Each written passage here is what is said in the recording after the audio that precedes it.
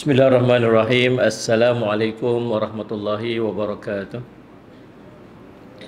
Alhamdulillah rabbil alamin wal aqibatu lil muttaqin wa bihi nasta'in ala umuri dunya waddin. Ashhadu an la ilaha illallah wa ashhadu anna sayyidana Muhammadan abduhu wa rasuluhu. Allahumma salli wa sallim ala habibil karim sayyidina Mustafa sallallahu alaihi wasallam. وعلى آله وأصحابه ومن تبعهم بإحسان إلى يوم الدين سبحانك لا علم لنا إلا ما علمتنا إنك أنت العليم الحكيم رب اشرح لي صدري ويسر لي أمري واهل نقدة من لساني يفقه قولي بسم الله ما شاء الله لا يسوق الخير إلا الله ما شاء الله La yasrifu su'a illa Allah ma syaa Allah ma kana min ni'matin fa min Allahi ma syaa Allah. Wala haula wala quwwata illa billah al-aliyyil azim. Allahumma anta rabbi la ilaha illa anta khalaqtani wa ana 'abduka wa ana 'ala 'ahdika wa wa'dika mastata'tu. أعوذ بك من شر ما صنعت وأبوء لك بنعمتك علي وأبوء بذنبي فاغفر لي. فإنه لا يغفر الذنوب إلا أنت. بسم الله الذي لا يضر مع اسمه شيء في الأرض ولا في السماء وهو السميع العليم. بسم الله الذي لا يضر مع اسمه شيء في الأرض ولا في السماء وهو السميع العليم. بسم الله الذي لا يضر مع اسمه شيء في الأرض ولا في السماء وهو السميع العليم. نعوذ بكلمات الله التامات من شر ما خلق. نعوذ بكلمات الله التامات من شر ما خلق. نعوذ بكلمات الله التامات من شر ما خلق. اللهم إنا نعوذ بك من البرص والجنون والجذام ومن السيء الأسقام. صلى الله على سيدنا محمد وعلى صحبه وسلم. الحمد لله في العالمين. Alhamdulillah, pertama-tamanya kita panjat puji dan syukur kepada Allah SWT kita dapat sama-sama pada malam ni. Ha, ni sampai lambat. Saya pun tak tahulah mai tang Masjid Syarifah pertama uh, Syarifah Fatimah ni satu je. Keluar awal tadi nak. Eh. Saya ni sebenarnya daripada Kuala Lumpur. Pagi tadi ada tanya ustaz. Bergerak tadi pukul pukul 11 pagi tadi. Nak mai kat tuan-tuan ni cerita dah. Pukul sebelah tadi fikir bulan naik kapal terbang. Fikir naik kapal terbang, flight ada pukul 4, 4 sampai ni pukul 5. Lepas tu saya cuma ubah fikiran sebab duk kira naik kalau naik kereta daripada daripada pukul sana pukul 11, 12, 1, pukul 2, pukul 3 sampai dekat. Ha, betul saya cuma tambah lagi 2 jam sampai sini. Jadi 5 jam. 5 jam lebih kurang lah kalau nak sampai tuan-tuan ni. Subhanallah. Tak elok dari pukul lima setengah tolak daripada bandar baru masuk masuk tu saja tuan-tuan dah start sangkut. Rupanya esok wesak orang masuk Pulau Pinang. Kan? Sangkut punya lama kata highway di 3 jam 3 jam sana 3 jam ini 6 jam. Alhamdulillah ala kulli hal dapat juga jumpa tuan-tuan. Semoga saya malu lah pukul 8 lebih baru sampai. Namun uh, kita nak tengok uh, bincangan kitab kita, kitab Umat Bertanya Rasul Menjawab ni, himpunan soalan-soalan daripada sahabat-sahabat Nabi sallallahu alaihi wasallam sallallahu alaihi Muhammad kepada baginda Rasul sallallahu alaihi wasallam yang kita boleh mengambil manfaat. Kita hari ini masuk hadis yang ke-14 ataupun soalan yang ke-14. Muslim dengan tajuk jika aku mengerjakan solat yang wajib mengharamkan yang haram dan menghalalkan yang halal apakah aku akan masuk syurga? Itu soalannya. Uh, an Jabir qal muka surat 57 an Jabir qal atan Nabiy sallallahu alaihi wasallam an Nu'man bin Qawqal qal faqal ya Rasulullah ara'aita idza sallaita al-maktubat wa haramtu al-haram wa ahlaltul halal adkhul jannah? Faqala an-nabiy sallallahu alaihi wasallam na'am.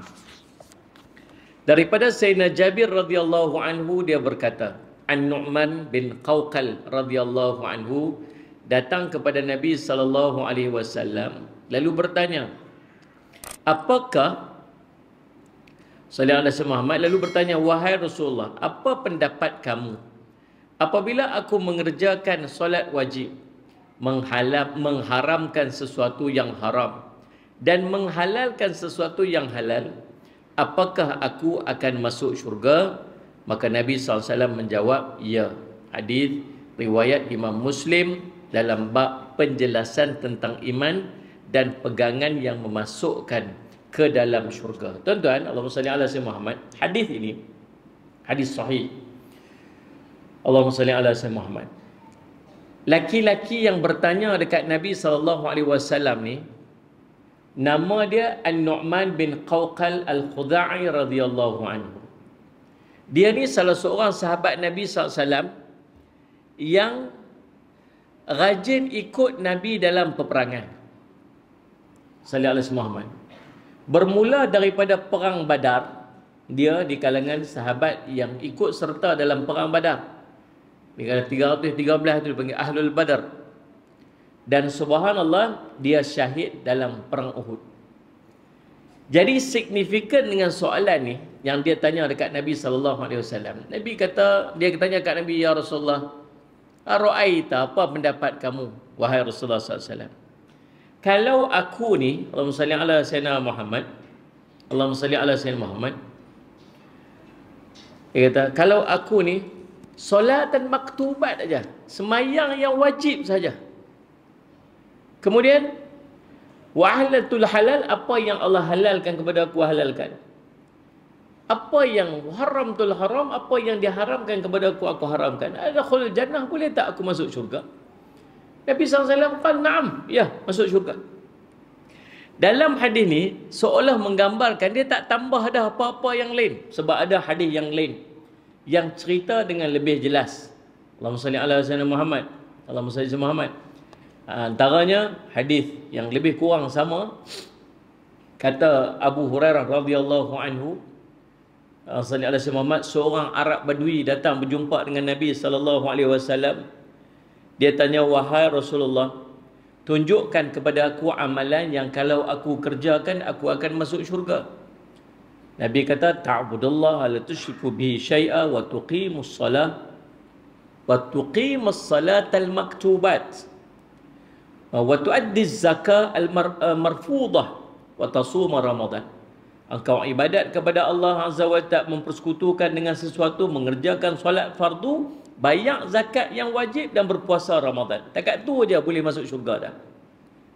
Dalam sebuah hadis yang lain, Nabi SAW pernah ditanya an Abi Abdullah Jabir bin Abdullah Al Ansari radhiyallahu anhuma anna rajulan sa'ala Rasulullah sallallahu alaihi wasallam faqala ara'aita idza sallaitu as-salat al-maktubat wa sumtu ramadan wa halaltu al-halal wa haramtu al-haram wa lam azid ala dhalika shay'a adkhul jannah faqala na'am فقال والله لا أزيد على ذلك شيئا Kisah lebih kurang sama, situasi lebih kurang sama diriwayatkan oleh seorang yang sama, orang yang sama. Cuma semalam sama tuan-tuan, ada sedikit tambahan daripada sebutan dia. Hadis ini diriwayatkan oleh Abu Abdullah Jabir bin Abdullah Al-Ansari radhiyallahu anhu. Hadis yang kita baca tadi pun daripada Jabir radhiyallahu anhu juga. Cuma dalam hadis ini cerita ada seorang laki-laki bertanya dekat Nabi sallallahu alaihi wasallam. Dalam hadis ini tak cerita siapa yang tanya. Lalu dia tanya, dia tanya dekat Nabi, "Ara'aita idza sallaita salatil maktubat?" Wahai Rasulullah SAW, apa pendapat kamu kalau solaitu salawatil maktubat, kalau aku semayang-semayang fardu sahaja. Wasumtu Ramadan, yang ni ada tambah perkataan aku berpuasa dalam bulan Ramadan. Semayang yang wajib, puasa yang wajib. Kemudian wa ahlaltul halal, aku menghalalkan apa yang telah dihalalkan.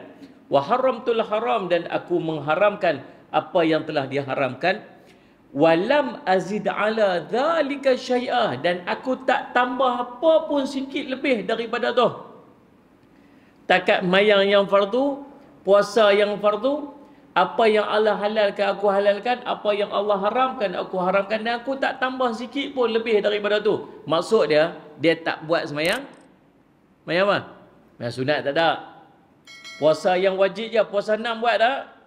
Tak buat dah. Pasal dia puasa puasa bulan Ramadan saja, puasa yang wajib saja. Tapi apa yang Allah halalkan dia halal. Apa yang Allah haramkan dia haram. Maka dia tanya dekat Nabi SAW, Allahumma salli dan dia kata apa? Dan dia kata apa? Ada khul jannah, apakah aku boleh masuk syurga Rasulullah? Walaupun walam azid ala dhalika syai'a, aku tak tambah apa sikit pun lebih daripada tu. Maka kata Nabi SAW, ya, na'am. Kamu masuk syurga. Kemudian dia kata, wallahi demi Allah, la azidu ala dhalika syai'a. Aku tak tambah lebih sikit pun daripada tu. Tuan-tuan, Allah SWT Muhammad, maka ulama bahas. Jangan duk simply-simply pakai hadis tu lagu tu je. Ustaz, tak usah duk semang-semang lah pasal semayang duduk apa duduk duduk puasa-puasa sunat enam puasa puasa puasa syawal ni. Ustaz tak dengarkah satu hadis Nabi SAW? Oh, dia kata ke kita balik. Kan? Ada seorang tu pergi jumpa Nabi SAW. Dia kata, saya semayang fardu saya. Saya puasa yang Ramadan saja apa yang Allah halal halalkan apa yang Allah haram saya haramkan dia tanya dekat Nabi dia boleh masuk syurga tak Nabi kata ya masuk syurga sebab tu saya tak puasa dah puasa sunat ni mana ni Tuan duduk sembang lah Ustaz. Ustaz duduk suruh bak dia, bak dia isyak. Saya duduk start motor balik bro. Tu pasal apa? Ustaz tak dengar ke hadis tu? Boy. Kemai lagi dah kemai kan? Tuan-tuan, perbahasan dia macam ni. Yang pertama. Sahabat yang tanya ni nama dia An-Nu'man bin Qawqal Al-Khuza'i radhiyallahu an. Dia di kalangan orang disebut sebagai Ahlul Badar. Sahabat-sahabat yang terlibat dalam perang Badar di kalangan sahabat. Kemudian peperangan-peperangan yang dilalui Nabi SAW diikut. Bahkan dia syahid dalam perang Uhud. Kata ulama yang membahaskan hadis ni sahabat ni keutamaan dia ialah perang. Dia tak dan nak buat-buat benda-benda yang lain ni. Terus ada cerita lah yang sunat-sunat. Dia passion dia apa ni? Saya kalau perang saya duduk depan sekali. Faham tak ni? Mungkin bukan cerita sunat ni. Ustaz tak dan dah. Rasulullah tak dan dah kuat nak semayang semayang sunat nak apa. Saya kira apa yang jadi saya duduk depan sekali. Nak pertahan Nabi SAW, saya duduk depan kali. Pi perang, saya duduk depan kali. Maksudnya, keutamaan dia dalam dalam maksudnya, dalam mendekatkan diri dia kepada Allah ialah dalam bentuk jihad fi sabilillah. Faham ni? Kita perang pun tak. Faham tak ni? Sahabat? Nak berjihad, jihad pun tak. Lepas tu, mayang sunat pun tak ubat. Sebab tu, salih alaihi Muhammad, atau Allah Salli Muhammad uh, pintu syurga ni banyak. Ada orang dia masuk syurga sebab puasa banyak. Satu pintu syurga nama Ar-Rayyan. Bila dibuka saja pintu syurga ni lalu Allah panggil Aina sa'imun? Mana orang puasa Lalu bangkit semua orang-orang yang kaki puasa ni, yang rajin puasa sunat ni.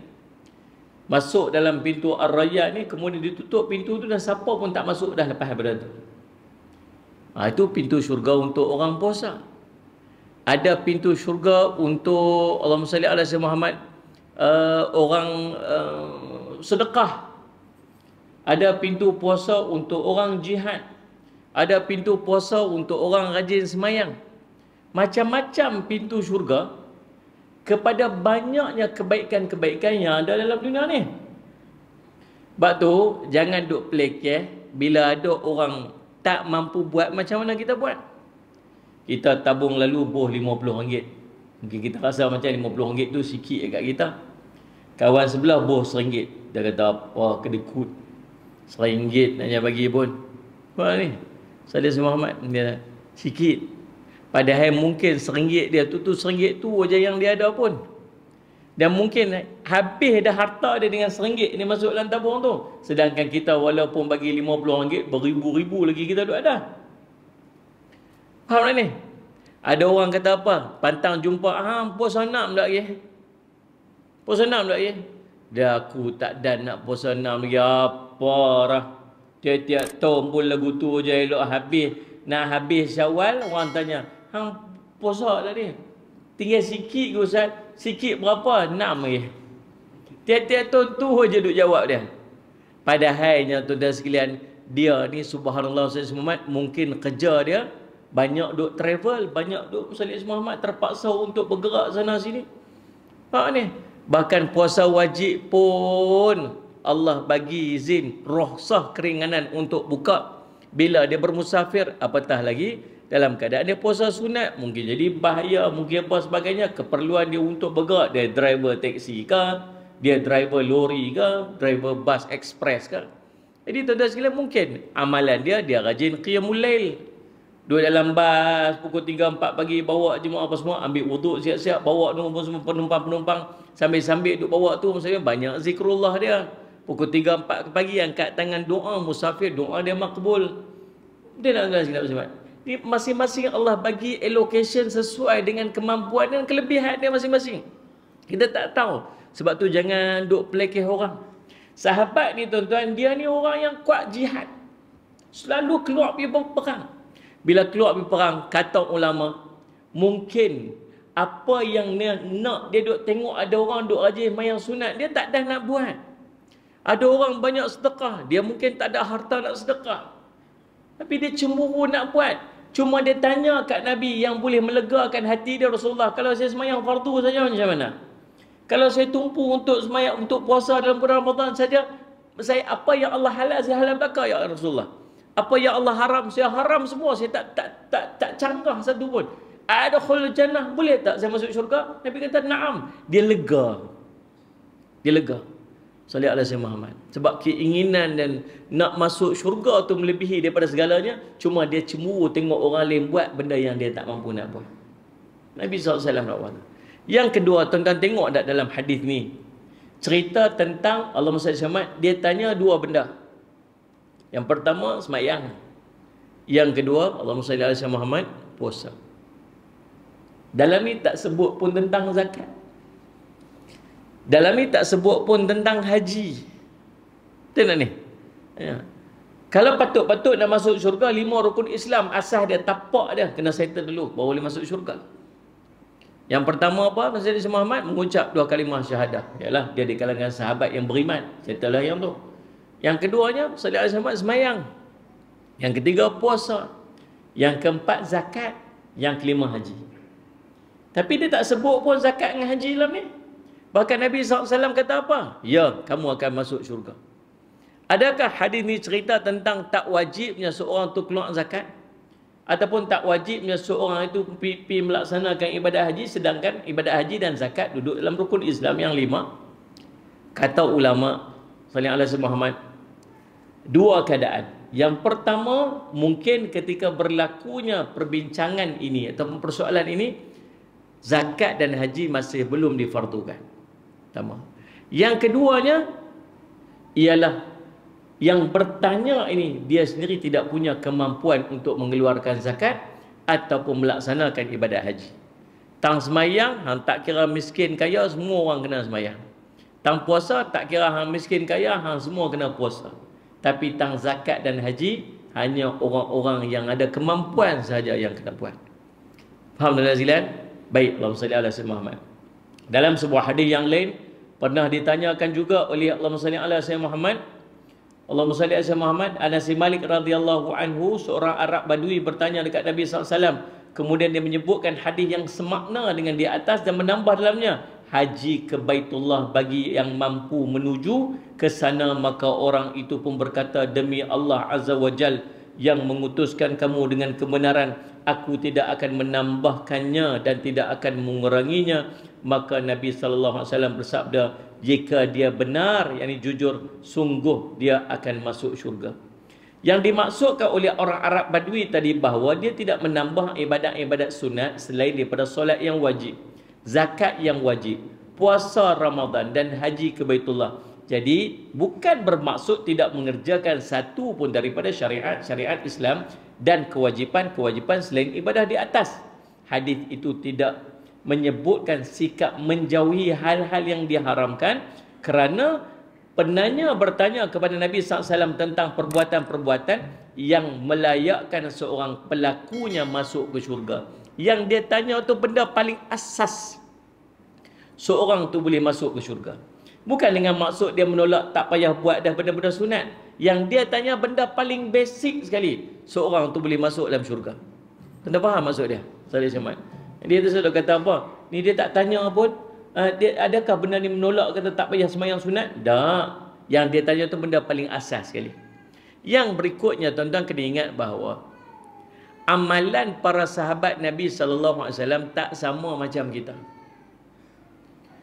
Nabi nak seolah nak bagi tahu dekat kita, kalau kita semayang fardu, kalau kita semayang fardu dan semayang fardu itu sempurna, perfect, elok dah, tak ada sikit pun cacat celahnya dan diterima oleh Allah, maka layak dia untuk masuk syurga Allah, sempurna. Puasa dia, puasa dia sempurna, perfect, tak ada kurang walaupun sikit, layak dia masuk syurga. Tapi kita punya puasa lagu mana? Puasa apa ni? Tentu agak-agak puasa kita tu Allah terima tak? Nabi kata, Kam min sa'imin malaysa min siyami ilal ju' wal atas. Berapa ramai orang yang puasa.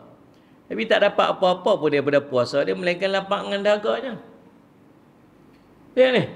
Ada orang pergi depan Allah ada puasa tapi pahala tak ada. Antara benda yang memadamkan pahala puasa yang Nabi kata apa? Allah tak berhajat kepada lapak dia. Allah tak berhajat kepada dahaga dia. Allah tak berhajat dia tahan perut dia daripada makan. Allah tak berhajat dia tahan perut dia daripada minum. Allah tak berhajat. Siapa? Antara dia ialah orang yang tak jaga mulut. Dia panggil qauluz zur. Cakap nista, cakap jahat cakap bohong. ni. Eh saya sebut. Tahun lepas, tahun lepas puasa. Tahun ni puasa.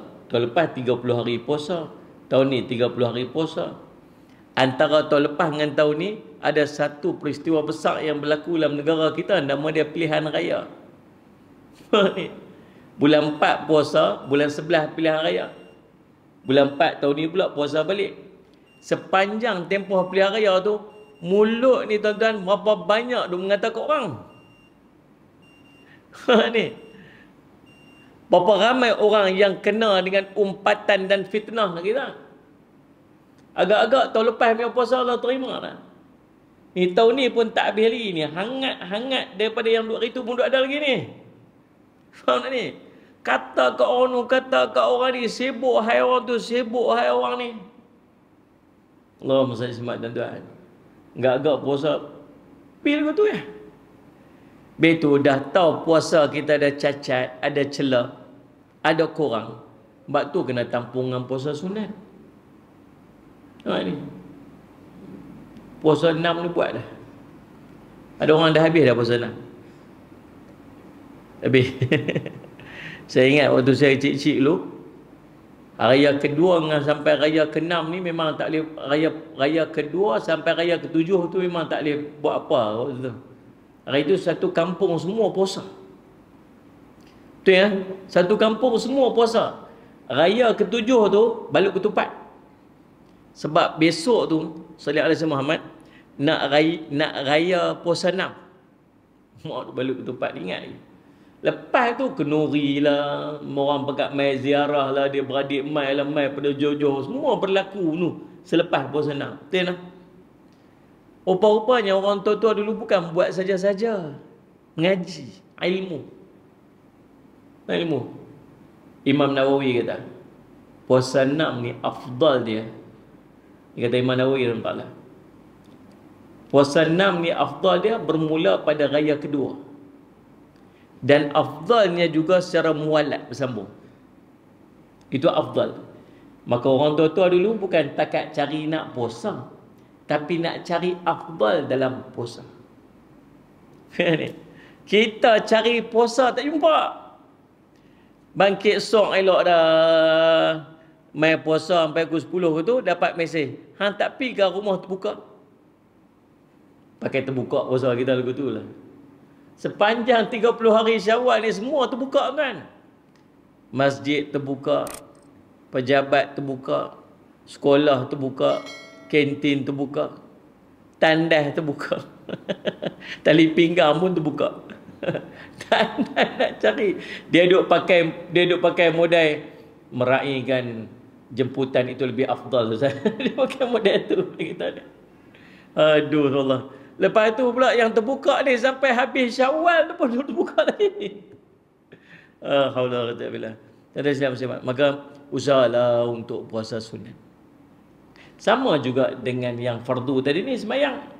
Tuan-tuan, Allahumma salli ala sayyidina Muhammad. Kata sahabat Nabi SAW tadi ni, An-Nu'man bin Qawqal radhiyallahu anhu dia kata apa? Sallaitu sallaitul maktubah. Semayang fardu. Semayang fardu ni sehari lima waktu. Kalau nak buat, buat bagi sempurna. Ya fadillah, ya fadka. Kamu jaga Allah, Allah jaga kamu. Kata Nabi SAW. Ya fadillah, ya fadka. Kamu jaga Allah, insya Allah akan jaga kamu. Ulama mufasir sebut. Maksud jaga Allah ni, ialah dia melakukan amalan fardu dengan bersungguh-sungguh tanpa sambil lewat. Itu dia panggil jaga Allah. Maka Allah akan jaga dia. Macam mana keadaan dia tuan-tuan? Keadaan dia. Kalau nak semayang, semayang buat yang paling baik dengan semayang kita. Semayang zuhur. 1.20 masuk zuhur contoh. Kita semayang pukul 4 pun semayang zuhur juga. Semayang pukul 4 setengah lagi tak masuk asar. Semayang zuhur juga. Bahkan semayang pukul 5. Qadhaan pun semayang zuhur juga. Tapi orang yang jaga Allah ni. Dia semayang zuhur masuk saja waktu. Semayang dua rakaat. Terus saja semayang zuhur. Ini orang yang jaga semayang. Cuba kita buat tengok. Tiap kali nak semayang fardu, ambil wuduk bagi elok. Pakai pakaian bagi elok. Tak kira lah kita semayang di rumah ke semayang di masjid ke semayang pilah tang mana macam mana kita beriah elok nak pergi masjid untuk semayang. Cuba beriah elok juga waktu kita nak semayang seorang-seorang kat rumah ni main masjid bukan main ikut ikat serban mayang kat rumah tuan-tuan kadang ketayak pun tak lekat Bukan ketayak, baju pun tak pakai. Gulung kain macam ni ni. Asal tutup aurat ni kata. Gitu kan. Kalau pakai baju pun pak goda dah. Uruh pa pun jatuh dah. Tinggal goda. Pelubang macam kena tembak dengan Israel. Kan? Tuh Allahu Akbar. Zikir. Hmm, tak dah. Ya, subhanallah, subhanallah, subhanallah. Tak ada lah. Macam doa. Tak ada dah. Sama bagi salam. Poin keluar ya. Pasal apa? Pasal semayang di rumah. Awak di rumah tu haling ke di masjid tu haling kot. Betul lah kot itu saja kan. Pasal apa tak sama? Padahal kita menghadap Tuhan yang sama, kita menghadap kiblat yang sama, kita mengharapkan ganjaran pahala daripada Tuhan yang sama, kita mengharapkan redha daripada Allah. Di masjid pun sama, di rumah pun sama. Tapi pasal apa beza? Pasal kita takut satu benda aja. Kita takut kita mengharapkan pandangan orang atas apa yang kita buat. Betul tak betul ni? Pasal apa pakai elok masjid? Awak tak pakai baju macam mana kita mayang kat rumah tu pergi mayang kat masjid? Pasal apa? Eh, satgi orang kata apa pula kat aku? Ah, dia duduk sibuk orang kata apa kat dia? Tu maksudnya, kita perelok pakaian tu atas duk, duk, duk kira orang kata apa kita. Kita tak kira apa Allah nak kata kita. Faham tak faham ni? Tapi itulah kita. Cuba buat Nombor satu, bila nak semayang, kita perelok semayang kita seelok-eloknya. Dalam khusyuknya, dalam tawaduknya, dalam ikhlasnya. Lagi. Cuba nak cari khusyuk sungguh Macam mana nak cari khusyuk ni? Faham antaranya, faham apa? Khusyuk ni ada dua. Satu khusyuk anggota, satu khusyuk hati. Ha? Khusyuk anggota, saling alaihi Muhammad, bila kita semayang, tetap diri, tetap tangan, tetap mata, tak tengok atas, kiri, kanan, bawah. Salih Allah Muhammad. Tengok tempat sujud. Berdiri dengan tegap elok, taklah bergedik-gedik. Ada orang semayang tepi siar tu. Kat mana tu tempat tu. Duduk semayang tepi siar.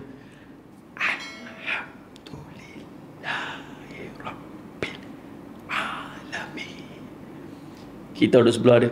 Punya kau ni. Sepa pula kawan ni. Halu, bukan tak, kita pun kita pun tak khusyuk memang tak khusyuk dah pun. Mati dia. Subhanallah. Eloklah semayang. Ada sekali semayang Asia tu kan. Oh, ikut imam. Imam dah. Waladhalin. Amin. Dia baca fatihah. Bismillahirrahmanirrahim. Dia makmum. Pederah macam imam Kita ya Allah Macam-macam macam orang. Semayang bagi elok.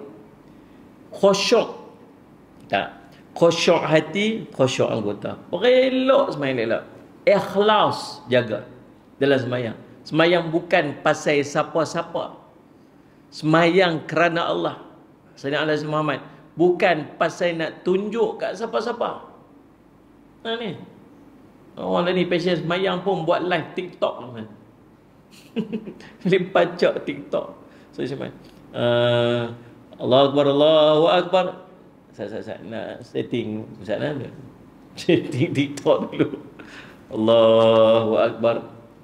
Bismillahirrahmanirrahim. 240 orang tengok. Alhamdulillah Rabbil Alamin. Naik-naik sikit, naik sikit. Masya-Allah. Ambu sedapnya imam baca ya Allah, masya-Allah ini suara daripada syurga.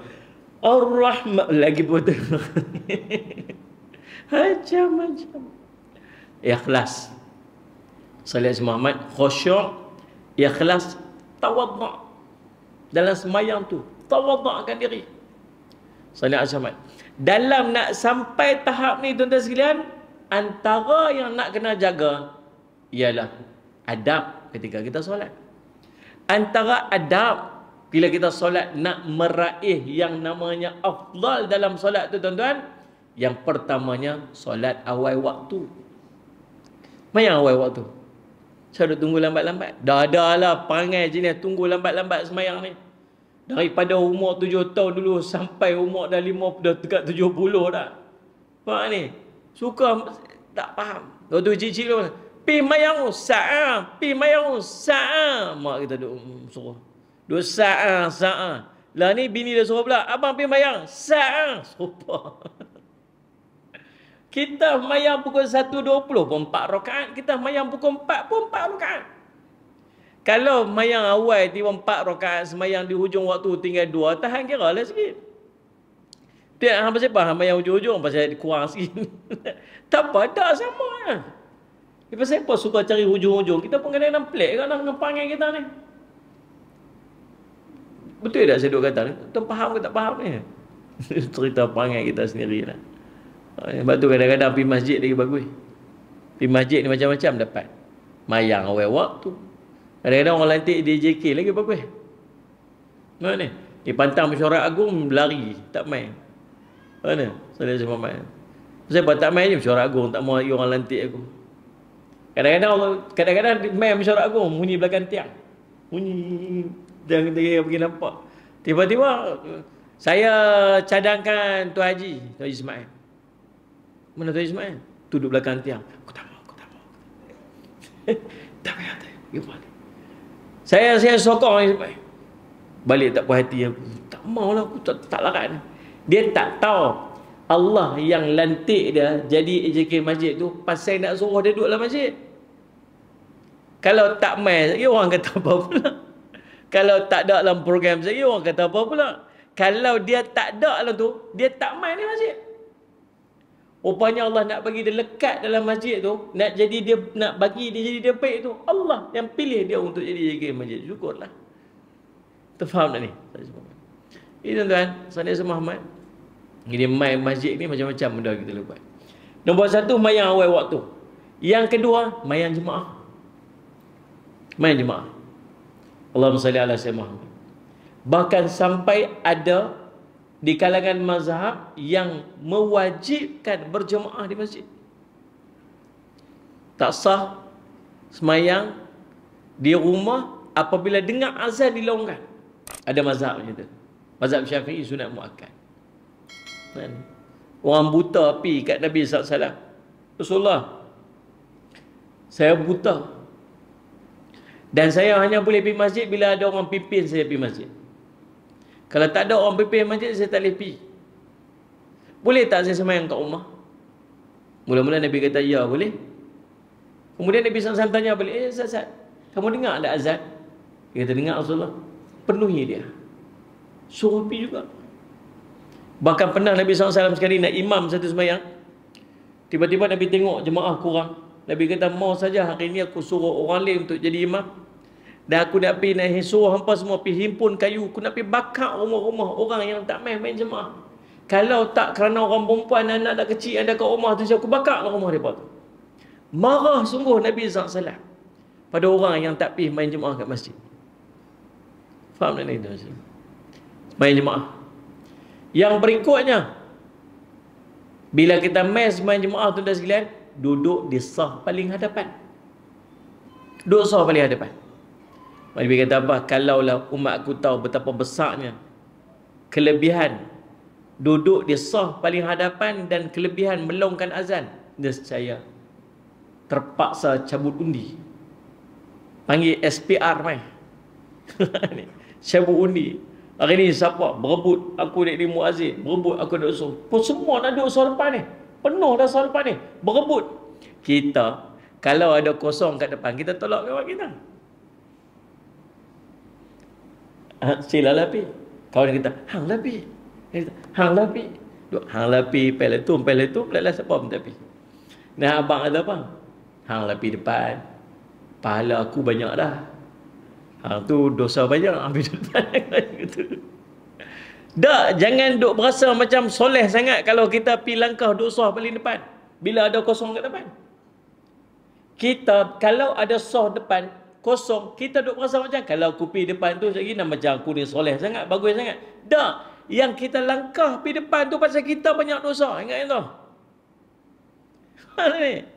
sebab dosa paling depan tu lagi banyak pahala lagi afdal. Bahkan Nabi SAW kata apa? Siapa yang memenuhi ataupun menutup lompong lompong ke lompang? Lompang tu yang kuih duk makan tu saya ingat. Boleh nyok sikit kat atas lompang ke lompong gitu lah ada kosong tu Allah dan para malaikat akan berselawat pada dia. Maksudnya Allah melimpahkan rahmat malaikat doa kat dia. Orang yang pi isi ruang-ruang kosong soft. Pi berebut duduk kat depan. Faham tak ni? Saya semua ini banding berebut berebut. Pi cari penuh soft depan penuhkan soft kedua. Penuh soft kedua penuh soft ketiga. Ini pi parking soft belakang saya siap Ha, ni, ambil ujung cantik. ujung. Dia duduk rapat tang tu tak berganjak lah.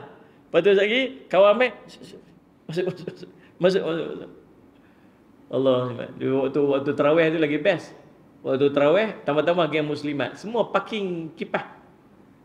Tahun ni kipah ada 10 34 orang. Tahun ni kipah ada 34 orang. You jaga beg. Bawa beg cantik tak kat depan. Lepas tu lagi bila soh depan penuh nak ganjak tak boleh pasal beg tu tu. Akhirnya sekelompok tadi, sekelompok ni, sekelompok tadi. Macam kita pasal ni nah, pasal pasal bawa handphone. Bila bawa handphone, tak tak handphone dekat dekat, dekat depan tu. Tu yang ni. Uh, tak pula tak bagi muka menghadap kau tu. Muka cermin kau depan. Lepas tu bini telefon. Tak tu rokok, sayangku, sayangku keluar. Dia kata, mampu dah bini ku telefon pasal apa ni. Aduh subhanallah. Bukan takat dia tak kosong kawan sebelah tu. Hmm bini bagi dah Pakai tak ada lah tarik lepas ni. Tuan-tuan subhanallah semua. Dia tak handphone kat depan. Sagi Bila tiba-tiba sebelah tu ada kawan kentut ke Ada kawan jadi kosong ke Elok kita angkat takbir Sejumlah tu imam angkat takbir. Tiba-tiba jadi kosong kat sebelah. Kita duduk semayang dah. Maka apa kita kena buat? Kita kena buat apa? Genjak perapat soft. Tapi dia nak perapat aku nak handphone kat depan. Kalau aku ganjak pergi ke depan lagi ni tinggal handphone kat sini. Dia tinggal handphone kat sini lagi, elok-elok bagi salam tengok handphone tak ada lah. Macam-macam dugaan kita semayang lagi lah. Betul tak betul saya kata ni? Itu baru pindah sebelah. Sudah bayang tak kalau kena pindah pergi ke depan?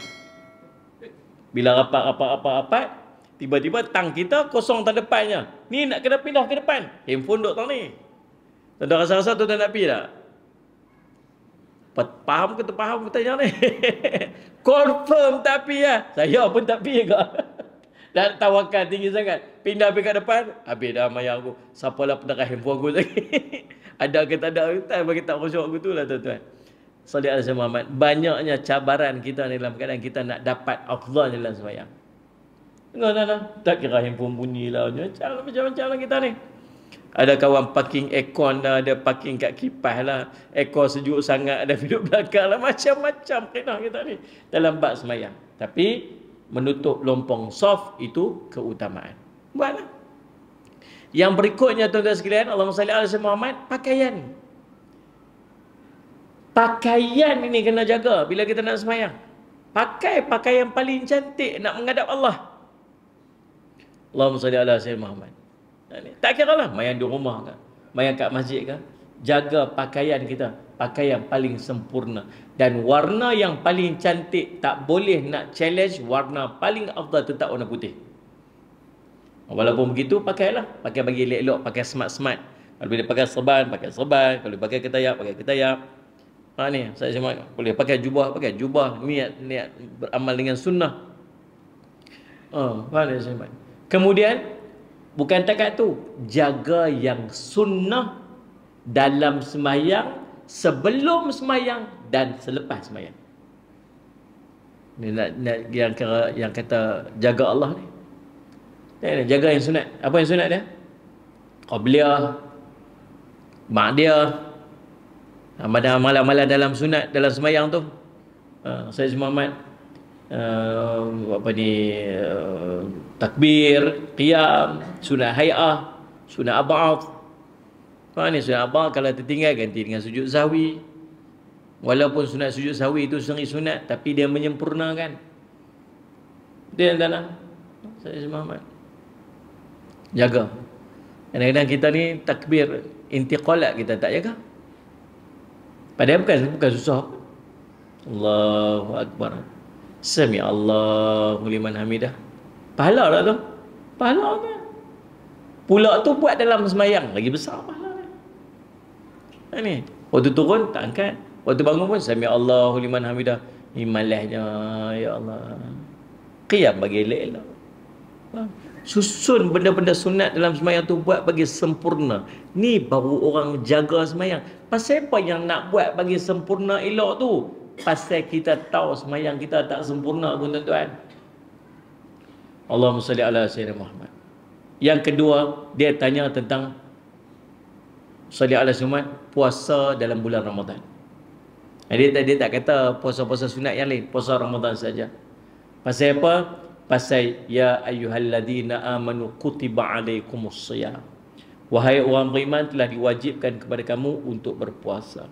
Nabi SAW sebut bunyal Islam ala khamsin syahadati an la ilaha illallah wa anna Muhammad Rasulullah wa iqamis salah wa ita'iz zakah wa hajjil bait wa sawmi Ramadan. Islam berdiri di atas lima perkara, persaksian tidak ada tuhan disembah melainkan Allah. Muhammad itu Rasulullah mendirikan semayang menunaikan zakat, melaksanakan ibadat haji dan berpuasa dalam bulan Ramadan. Cumanya tuan-tuan, sallallahu alaihi Muhammad macam kita sebut tadi lah, puasa kita tak sempurna maka tampung-tampunglah dengan puasa-puasa sunat. Kemudian Allah salli ala sayyidina Muhammad dia sebut menghalalkan yang halal dan mengharamkan yang haram. Ulama mentafsirkan menghalalkan yang halal dengan meyakini kehalalan dia dan mengharamkan yang haram dengan meyakini keharamannya dan menjauhkannya. Ini sudah cukup meskipun tidak melakukannya kerana meyakini keharaman apa yang Allah halalkan atau meyakini halal apa yang Allah haramkan menyebabkan kekafiran. Ulama kata apa? Dua perkataan ni, apa yang Allah halalkan aku halalkan, apa yang Allah haramkan aku haramkan, merangkumi semua benda yang Allah perintah dalam ibadat dan syariat. Semua ada. Faham tak ni? Daging babi ada dalam tu tak? Ada. Tak boleh minum kat dalam tu tak? Ada. Tak boleh buat maksiat berzina dalam tu tak? Ada. Itu yang dah silap silap. Ha. Dan semua benda yang tak disebutkan secara satu-satu-satu jadi dalam semua syariat terkandung dalam apa yang aku halalkan, apa yang dihalalkan maka aku halalkan, apa yang diharamkan maka aku haramkan. Dan jangan pula mengubah apa yang Allah halal tiba-tiba dia haramkan dan apa yang Allah halalkan, apa yang Allah haramkan tiba-tiba dia menghalalkan.